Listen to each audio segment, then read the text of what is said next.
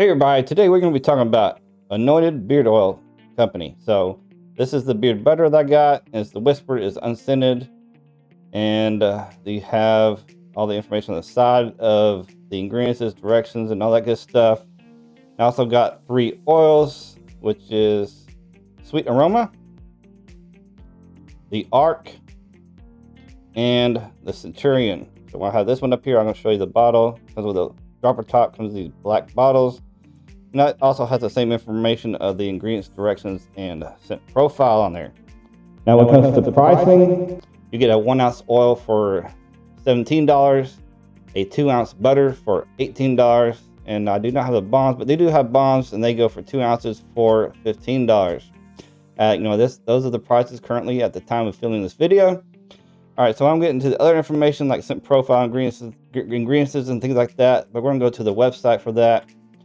So I have the oil page here right now. So let's go ahead and talk about Sweet Aroma, which is one of the oils I got. We're going to scroll down here to the ingredients. And it has cold pressed jojoba oil, meadowfoam seed oil, hemp seed oil, sweet almond, Moroccan oil, castor oil, vitamin E, and a blend of fragrance and essential oils. Now the scent profile for this one is pipe tobacco, creamy vanilla with a hint of smoke. Now for this scent profile, that's that's definitely what I get. I mean, I don't really get a hint of smoke, but overall I do get that pipe tobacco and the creaminess of the vanilla, which just kind of smooths it out. So overall, this is a really nice, smooth tobacco scent. Just really, really enjoyed it. All right, let's go back to the website and we're going to go to the ARC, which is the next one I got. So the ARC is the profile of sandalwood, Texas cedarwood, aquatic cologne, bay rum, ocean waves. Now for this, it's definitely nice aquatic cologne, and that sandalwood gives it a nice little uh, difference to it. So overall, between that aquatic cologne, and the ocean waves, definitely, definitely a really awesome uh, aquatic cologne type scent to me. And I mean, I really can't mistake it's a really nice uh, aquatic cologne. All right, so back to this website, and we're going to go talk about the Centurion. And the Centurion is going to be a scent profile of robust Italian cypress and cedarwood with a Tuscan blood orange. And it also says the blood orange is sweet, acidic, and its vibrant smell and color is intoxicating.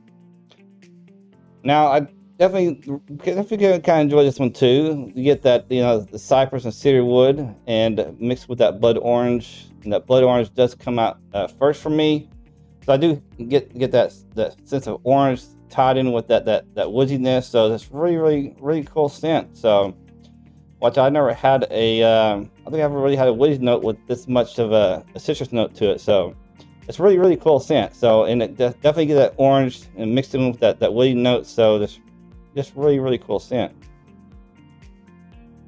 All right, so I have it up on the better page now, and we're going to scroll down here to the uh, the uh, profile or the, the ingredients list. And for the beard butters, they have refined shea butter, refined cocoa butter, refined mango butter, refined kokum butter, an entire uh, oil carrier blend, and the uh, fragrance essential oils. You know, if it's scented, but like I said, I have the Whisper, which is unscented and you definitely do not get any scent of any kind of products in there. So definitely, definitely, truly unscented.